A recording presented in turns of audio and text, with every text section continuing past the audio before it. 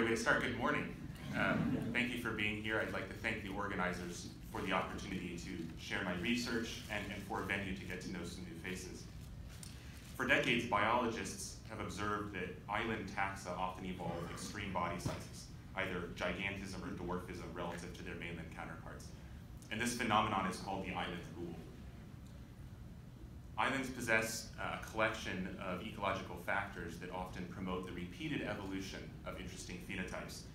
These ecological factors uh, include the fact that islands are often well isolated, they're relatively small, and therefore have a relatively uniform climate. In addition, uh, organisms arriving on islands are often provided with new food resources, and these island colonizing taxa are often freed from mainland predation pre pressures uh, and ecological competitors. And so these ecological factors uh, promote the repeated evolution in a wide array of taxa of a collection of phenotypes.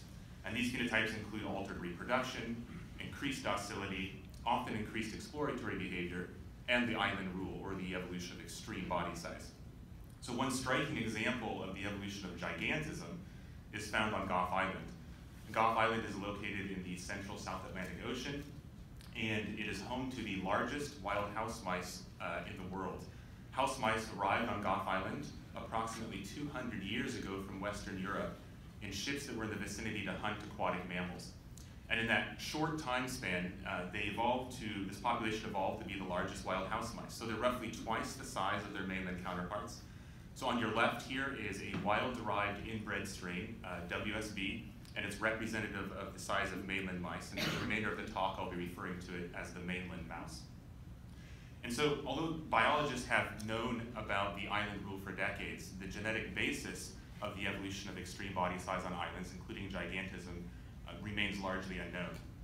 And in our lab, we developed genomic and genetic data sets uh, in an effort to understand the genetic mechanisms underlying the island rule.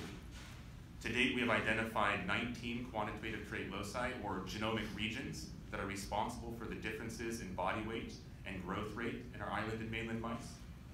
Additionally, we have sequenced tens of genomes of Gough Island mice, and therefore we know the mutations or uh, substitutions that are fixed between the island and mainland mice. And to this set of resources, I wanted to add a third data set that addresses how gene regulatory evolution contributed to the evolution of gigantism. And we expect patterns from these different data sets to overlap and reinforce one another, thus suggesting genetic mechanisms.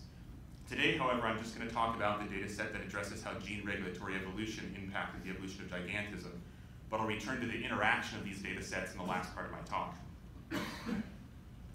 There's substantial evidence that complex traits evolve by evolution in gene regulatory elements. This includes traits such as height, um, disease susceptibility, uh, even body weight. Therefore, we hypothesized that substitutions, new substitutions or, uh, or extant substitutions rose to high frequency in Gough Island mice in gene regulatory elements. And these substitutions in gene regulatory elements cause divergence in gene expression in key metabolic organs in the island mice relative to the mainland mice. And consequently, there was divergence in metabolic activity in these organs, which ultimately contributed to the gigantism in Gough Island mice. To address this hypothesis, I took an RNA sequencing approach, collecting transcripts from three key metabolic organs, the gonadal fat pad, the hypothalamus, and the liver. These three organs interact with one another and they regulate the intake and processing of metabolites, and they're essential for vertebrate growth. As I mentioned, I took transcripts from island mice and mainland mice, and these were collected in four-week-old individuals. Previous work in our lab had demonstrated that the growth rate between these strains is significantly different in the first six weeks of life. That's why we focused on this time point. Additionally, I took transcripts uh, from an embryonic time point in the liver, embryonic day 16.5, and in two-week-old individuals. And in all of these conditions, there was a striking amount of differential expression. So between 20 and 40% of gene expression was significantly differentially expressed between these strains. To gain organ-specific insights into the metabolic divergence between these strains, I carried, I carried out a functional enrichment analyses using KEGG pathways and gene ontology terms. So in these types of analyses, particular biological pathways or function or functions are uh, associated with sets of downregulated and upregulated genes. And so for the remainder of the talk, when I refer to downregulated or upregulated genes, I'm referring to those genes whose uh, transcript levels were higher or lower in the island mice relative to the mainland mice. And so I'm just going to share two examples of the type of biology that we can learn from this type of analysis. The first one I want to share with you is that we found evidence that Gough Island livers are maturing earlier and turning on metabolic pathways earlier than the mainland mice.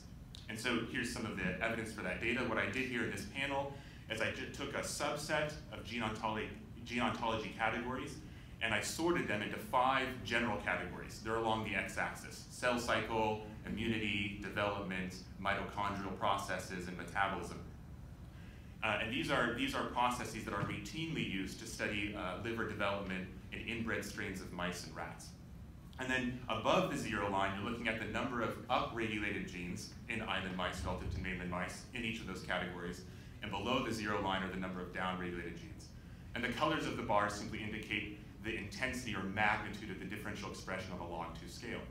And so what we can do with these sort of uh, broken down patterns is we can say, for example, in the embryonic liver, we see that there's strong downregulation of developmental and cell cycle genes, but upregulation of metabolic uh, and particular uh, mitochondrial processes. And strikingly, when we look across the time points for which we have data, we see that these general patterns are dynamic. They change throughout the maturation of the liver. I want to show you the, uh, uh, what we learned again about the, the metabolic divergence in one other format. And so what I'm showing you here is a timeline of early postnatal, or early postnatal development in the mouse from, from birth till about 30 days. And in the red circles, just again indicate the time points for which I have uh, differential expression data in the liver. And then the divisions along the timeline are these major transitions in mouse development that again are often used in studies to characterize the liver in inbred mouse strains and, and, and rat strains. And what I've done below the line is I've just put particular cellular and metabolic processes and, and map those on this timeline. So this is like when particular processes begin or end. And the ellipses just mean that process continues for the remainder of the life of the mouse. And so what we notice in Gough Island mice is that specific pathways, such as the downregulation of developmental genes right at birth, and the upregulation, for example, of glucose production via gluconeogenesis and other metabolic pathways, these seem to be occurring earlier in Gough Island mice, um, as you can see in the diagram here. And so, again, we've recorded dynamic uh, metabolic divergence uh, between island and mainland mice. I want to share one other example of, of the type of uh, how our gene regulatory data set indicated metabolic divergence, and this was in a, a four-week-old fat pad. Here we found evidence that the uh, fat pads were less differentiated and possibly more proliferative in the island mice relative to the mainland mice. So to appreciate this, I'm just going to show another diagram. This is sort of a, a temporal timeline of fat cell differentiation. And uh, what's important to note here is that pre-fat cells, cells that are not exporting or storing lipids, that cell just with a little nucleus, they have a structure, an organelle called the primary cilium. And it's supported by a microtubule structure called the axoneme. And while this primary cilium is present, fat cells suppress signaling pathways that promote fat cell differentiation. Upon losing this primary cilium, fat cells can then begin to metabolize lipids, store lipids, and export lipids to other organs in the body. And strikingly, what we noticed in the Island mice is there was a strong upregulation of uh, genes that contribute to primary cilium development and axonemal function. And so you can see some of those listed here.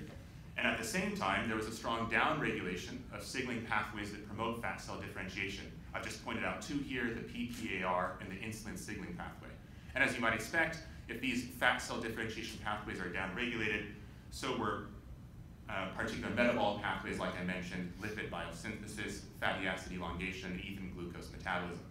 So again, this data suggests that in Island mice, these fat pads are less differentiated than mainland mice, and in this less differentiated state, it might suggest they're actually in a proliferative state relative to mainland mice. So just to summarize some of these um, organ-specific gene expression patterns that I observed, we observed substantial differential expression in all the conditions we looked at. I've spoken about two today. We noted that the livers are downregulating developmental and upregulating particular metabolic genes earlier than mainland mice. And lastly, I showed you that uh, the fat pads are less differentiated and possibly proliferative. For the last part of the talk, I want to return to this idea of using the many data sets in our lab to identify candidate genes that were involved in the evolution of gigantism. In particular, we're interested in differentially expressed genes that were within the QTL, or the genomic regions that are responsible for the differences between our strains. And so we call these QTL DE genes, where DE stands for differentially expressed. And you might imagine, because these genes are differentially expressed, we might expect that there's substitutions or mutations in the regulatory elements of these genes that are responsible for the divergence and expression of those genes. And so I'm just going to show you one example of the many QTLDE genes and how we can gain insight uh, into, these, into these candidate genes. So this uh, particular gene I'm going to talk about is on a QTL on chromosome 10, and these are just significant peaks, uh, significance peaks that indicate the locations of the QTL on particular chromosomes in the mouse. So again, this gene is on chromosome 10. It's called ARID5B, and it's represented here in a gene map where the vertical uh, blue bars indicate the exons and the spaces in between are the introns of ARID5B. And because we've sequenced uh, tens of genomes of Gough-Island mice, we know that there are fixed substitutions, actually about 100 in the introns of ARID5B. And furthermore, we know that this uh, gene is downregulated in the liver of Gough-Island mice. And so what we can do is we can ask, are some of these substitutions in the introns overlapping with potential regulatory elements? And so to do this, we looked at ENCODE data sets. ENCODE data sets were generated uh, in a collaborative effort by numerous labs. And the goal of ENCODE data sets was to identify sequences that were potential transcription factor binding sites or chromatin mark hotspots to indicate regions of transcriptional regulation in particular tissues. So in this example, uh, we're looking at two of these ENCODE data sets, both in the embryonic liver, 16.5 and 14.5, and these are from the liver, that's what the L means. And this histone mark and these putative transcription factor binding sites overlap some of these substitutions. We also know that this gene is downregulated in the um, uh, fat pad of these mice, and so we can add an additional ENCODE data set that looked at potential transcription factor binding sites in adult adipose tissue. And again, what you'll note is that these uh, substitutions overlap some of these potential regulatory elements. Furthermore, we know something about this gene, as we do for some of the other QTL and DE genes. We know that ARID5B downregulates two transcription factors that promote fat cell development or, or maturation. And so again, this is just an example where we can use overlapping data sets to uh, strengthen our nomination of candidate genes involved in gigantism. So why does this matter? Well, um, we've identified two metabolic signatures of the Island syndrome in Gough mice relative to mainland mice. First of all, metabolic divergence is dynamic. It spans from embryonic to postnatal time points. It didn't have to be that way. It could have been that it was just focused in one time point. We've uh, noted that uh, lipid storage and export is substantially different between island and mainland mice. And furthermore, as I mentioned, we have candidate genes that might have been responsible for uh, the evolution of gigantism. So these types of findings leave us in a strong position to identify the genetic mechanisms and consequent metabolic changes responsible for the island rule. And importantly, we can use this data now to compare to other taxa that experience the island rule. Thank you.